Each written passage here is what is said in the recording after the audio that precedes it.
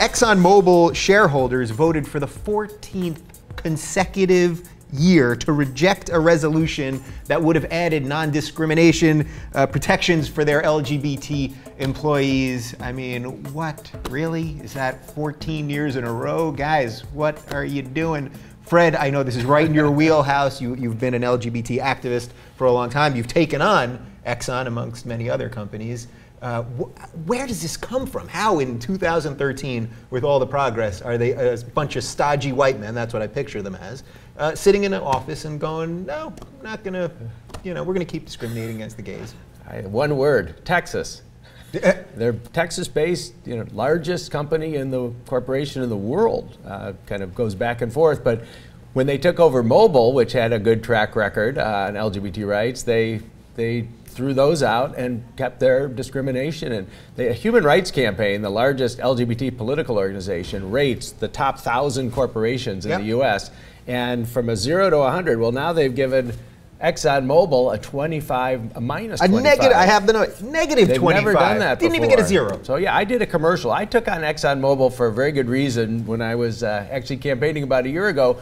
Not only because of their abysmal civil rights record, but because of their gas pricing and gouging of the American public, which uh, hurt our economy. And we need to get aggressive against these companies. I've been leading a boycott of Amway because Yeah. they gave half a million dollars to take away gay marriage in uh, states all over the country. I think we need to boycott companies like Exxon. They uh, earned $9.8 billion in the first quarter of the year, an astronomical amount of money. But if we can hit them in the pocketbook, I think we will get them to come around and do the right thing. Yeah, is money and boycotting the like what what's going on here? Is that the only way we can affect these guys? Because they seem to only care about money, right? This is is this about try, them trying to do what they view as the right thing? Yeah, like I can boycott. You know, I'll try real hard to boycott, but I don't think everyone's gonna boycott. You know, Right. Mobil. I mean, the the the thing you can do, you, you can't say like don't don't visit Exxon Mobil. You know, get. I guess you can actually. You can say, listen, you're at a corner. There's three gas stations. Just don't go to that one. Right. But that but go to BP because they're all they're doing a lot. yeah, of good go to stuff BP. So what do we do? We're going to try to like check off the ones that haven't totally screwed people up yet. right, But Shell. I think they're okay. Are they Shell. okay? Shell. Chevron's has- the best. They have a 100 rating on HRC. I love it. All I love there you that go. Berkshire Hathaway beat out ExxonMobil by scoring zero points. Right, isn't that bonkers? It's so, insane. So what do we do here? Because right, you're not gonna look us a few couple people that are for gay rights, not going to Exxon. All right, fine. But is this just like one of these things where corporations? It's like Walmart dumping you know tons of stuff into the ocean and then paying an eighty million dollar fine. It means nothing to them. Mm-hmm. Like, is this sort of like we just can't stop these guys? We, we, yeah, it's so hard. Yeah, I I, mean, yes, sorry, everyone yeah. go out there and boycott ExxonMobil. But and I just like thinking about it in terms of of you're voting. It's not like you're not voting for it. You're literally voting against it, Right. as if to say, "Come on, it's so fun to discriminate against gay people. Yeah. that's our one thing. Let's let it. Just let us do it." Yeah. So what is going on in these boardrooms when they're voting? Because as as Brett's saying, they are literally sitting there deciding whether this is not part of a bigger uh, issue. What are they saying? What are they actually saying? Like this is our one little secret. They don't care about their employees and their customers. And it's an insult in 2013 to do this, and it's intolerable. And I say we go after these companies. I did four boycotts during the Prop 8 campaign. We ended up settling three of those with major donors to the other side, six figures and up. And so we need to put pressure on these. Go across the street to Chevron.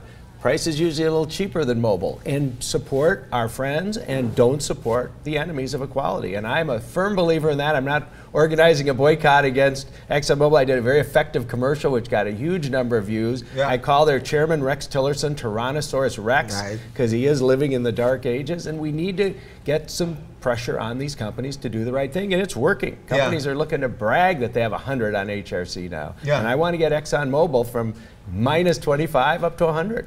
Is part of the problem here that it's the government because you know we couldn't pass the Employee Non-Discrimination Act, and not that I want the government jumping in on everything, but if we could have got that passed, then they wouldn't be allowed to get away with stuff like. Yes, I mean, if, if you force people to do this kind of thing, then yes, they will do it. And I think that there are plenty of other, you know, legislative initiatives that have passed in order to move the football down the field and try to advance the cause. Um, it's just one of those things where you look at it and you're just like, I am shocked. Like, Who who who are these people? Yeah. What are they doing? Do they have they ever met a gay person? Yeah. And I mean, a lot of their a lot of their defense is, you know, there are other portions of our training videos where we say that people should not discriminate against gay people. It's just it is so simple for you guys to just sit around, have this vote, change it and don't tell anyone, and then a year later tell people that you changed it. Yeah. Just do it, and then no one will have any reason to go complain about you. Are they, on the other hand?